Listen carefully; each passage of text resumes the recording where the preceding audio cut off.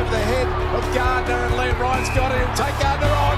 Look at the tricks coming up. Left way, one way, back the other. Liam Ryan's got it. He loved it. The big Eagles forwards, Kennedy. Out the back, Cripps.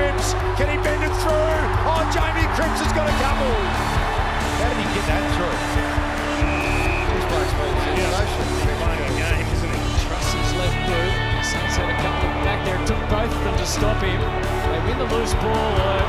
Clark then kept on going without it. Winder, he's still running hard. Petruccelle wants it back. They can't catch him. Oh! oh, what a game he's playing. That was it at 1.43 in the first quarter when the alarm bells were ringing and the red lights were going off everywhere. Well, it might. It might not. Let's wait and see. It looked like it was through from the Yo kick.